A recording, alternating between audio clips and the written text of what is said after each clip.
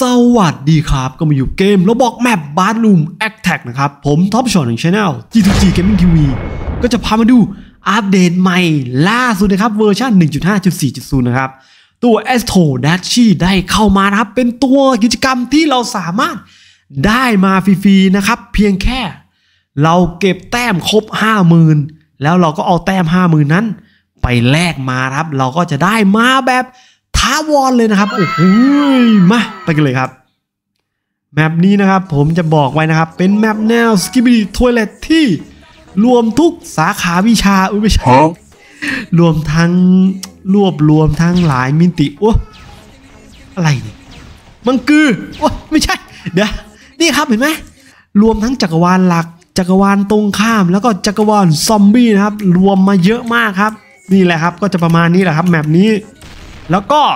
เป็น map แนวที่แบบว่าเราจะต้องป้องกันฐานนะครับ โดยที่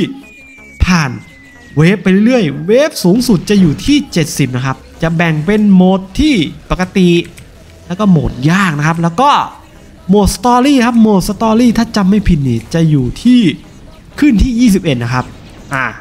มา มาดูตัวอัปเดตใหม่นะครับ ตัวที่อัปเดตใหม่ล่าสุดนะครับ คือตัวแอชชี่เอ้ย นี่ครับ นี่เห็นไหมโอ้โหอย่างเท่ครับ ตัวตัวแอสโตดัชชี่นะ ผมจำชื่อเขาผิดนะครับ วิธีได้เพียงแค่เราเก็บแต้มครบ50,000นะครับ เออ รู้แล้วว่าออนไลน์โอ้ระบบใหม่ครับ มีแจ้งด้วยว่าเพื่อนเราออนไลน์ครับอะมาต่อครับ เก็บแต้มครบ50,000เมื่อเราได้50,000ปุ๊บ เราก็มาเรียกร้องนะครับ แล้วเราก็จะได้ ตัว a s t o d a c h i แบบ tower นะครับ แต่ถ้าใครรีบเหมือนเดิมครับ Robux มักจะช่วยแก้ปัญหาเสมอนะครับ เป็นอย่างนี้เกือบทุก map นะครับ นี่ จะอยู่ราคาขายจะอยู่ที่ 400 Robux นะครับอ่าแล้ววิธีต่อไปนะครับ นี่เลยครับ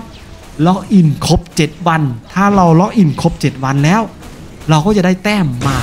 น่าจะประมาณ 50,000 นะ 50,000 ปุ๊บ เราก็เอาไปแลกตัว e s t o d a c h i ได้แล้วครับอ่า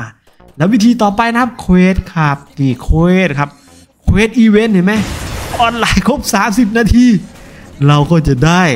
ตามที่มันเลอะตามที่มันบอกนะครับไหมสามสิบทีก็ได้มา 4K นะครับ โอ้โห 4K ได้ไหมต่อไป 1 ชั่วโมงก็จะได้มา 6K ครับ 2 ชั่วโมงได้ 10K 15 นาที เอ้ย 15 นาที อ๋อ อันนี้ทำไปแล้ว 15 นาทีก็จะได้ 2K ครับ ประมาณนี้แหละ จากนั้นก็เดี๋ยวปิด tab กันนะครับ วิธีสุดท้ายก็คือ quest ประจำวันครับ ถ้าน้องเล่นทุกวันน้องจะต้องมา เคลียร์ quest ประจำวันนะครับ quest ประจำวันก็คือ อันแรกครับ สิ้นสุดเอ้ยเสร็จสิ้นตลกว่ะพูดง่ายเคลียร์โหมดสตอรี่โหมดครับ ชนะ 1 ครั้งเราก็จะได้มา 1K แล้วนะครับ แล้วค่าสตู 100 ตัว เราก็ได้มา 200 ครับ ค่า 500 ตัวก็มาได้ 500 ครับ สิ้นสุดจบขึ้นที่ 20 ขึ้นไป 20 30 40 มีไหม ไม่มีถึง4ถึง 30 นะครับ ก็จะ ได้แบบนี้ครับนี่ ได้ UFO จำนวน 500 300 300 600 แล้วก็หมดแล้วครับ นี่ประมาณนี้แหละ นอกนั้นก็ปกติครับ อันนี้คือทำไปแล้วนะครับ แบบลองเข้าไปเล่นนิดนึงครับนี่นี่ครับก็จะมี3 quest ย่อยนะครับสรุปเลย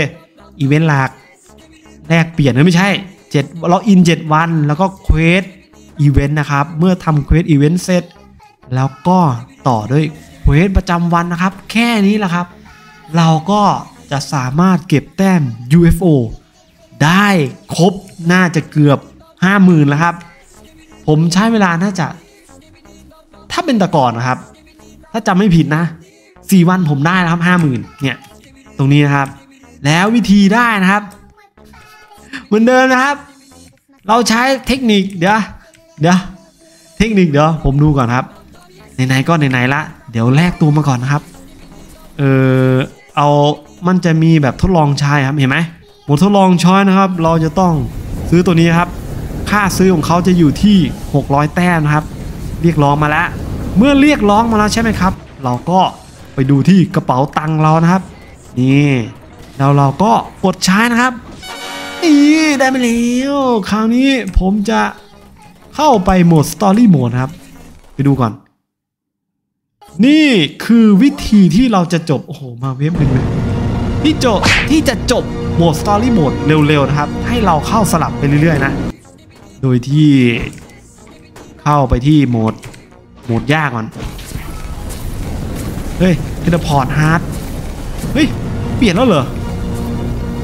เฮ้ย ไม่ได้ละ เอ้ย ได้อยู่นึกว่าไม่ได้ อันนี้คือเป็นสูตรดั้งเดิมที่ผมทำในสมัยก่อนนะครับ ประมาณนี้แหละ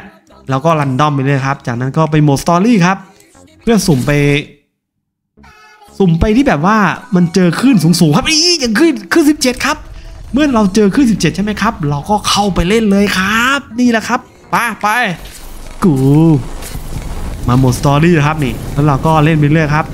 เมื่อเราเล่นจนถึงเคลียร์ครบแล้ว เราก็สามารถได้ quest เคลียร์โหมด story โหมดแล้วนะครับ แค่นี้ละ วิธีง่าย ประมาณนี้แหละครับ ไอ้โหมดโหมดยากเหมือนกันโหมด hard หรือโหมดปกตินะครับ ถ้าน้องอยากไปโผล่ wave สูงๆเลย น้องก็ใช้สูตรแบบนี้นะครับ เข้าๆออกเข้าๆออกครับ ให้ไปเจอห้องที่มันเขาเล่นผ่านเวฟไปสูงๆครับ เราก็สามารถเข้าไปเล่นได้ครับ นี่นะครับก็จะประมาณนี้ครับ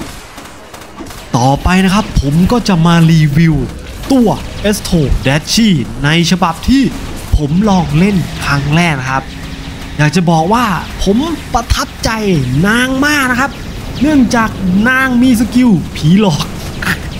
เสียงโคตรหลอนเลย เล่นคนเดียวคืนนี่น่าจะแบบเสียวสันหลังอยู่ครับใครไม่เชื่อลองกด skill นางดูครับ โอ้โห เสียงหลอนมาก แล้วก็ skill เลเซอร์นี่ค่อนข้างไกลนะครับ แล้วก็แรงสมควรแล้วก็ skill ที่แบบพุ่งไปข้างหน้าครับ แบบยังไงล่ะเหมือนปล่อยเลเซอร์ค้างๆครับ ก็แรงสมควรครับ เอาง่ายๆครับ ประทับใจเลยครับ ขนาดเราไม่ได้ตีบวกตัวนี้นะครับ ผมยังตีบวกไม่ได้นะครับ เพราะว่าผมยังไม่ได้ตัวนี้ถาวรนะครับ อันนี้เพียงแค่ผมใช้แต้ม 600 แต้มไปซื้อมาเล่นแบบชั่วคราวครับ ถ้าเรากดออกเกมครับ ตัวเราจะเป็นตัวธรรมดาทันทีครับ เพราะว่าตัวนี้มันจะอยู่แค่ 30 นาทีนะครับ สรุปเลยครับตัวนี้เก่งครับเอ้ยไม่ผ่านแล้วโอ้โหมันอยู่ที่ขึ้นแค่ 20 เองโอ้ยผมไม่ได้เล่นนานนึกว่าจบที่ 21 นะครับ ได้เหรียญตาสุดเท่มาด้วย โอ้โหเป็นยังไงกันบ้างครับ วิธีนี้วิธีที่ผมใช้ประจำในสมัยก่อน เป็นวิธีที่เคลียร์ quest เคลียร์พวก wave สูงๆ ผ่านได้ไวที่สุดละครับ เพียงแค่เรา เข้าห้องสลับไปเรื่อยๆ หาห้องที่เขาถึงพวกคลื่นสูงๆ เช่นถ้าโหมด story ครับสัก 17 18 ขึ้นไป ถ้าเจอปุ๊บเข้าไปเล่นเลยครับ นี่แหละครับคือวิธีที่ผมใช้มาตั้งนานครับ ก็ไว้เจอกันใหม่คลิปหน้านะครับ ขอบคุณครับ